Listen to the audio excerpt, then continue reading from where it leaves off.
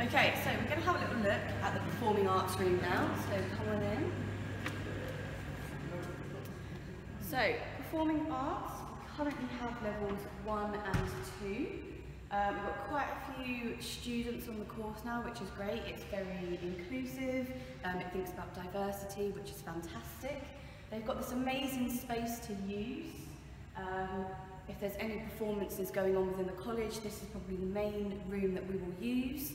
Um, we also work really closely with the Hawth Theatre, so it's really great opportunities for the students.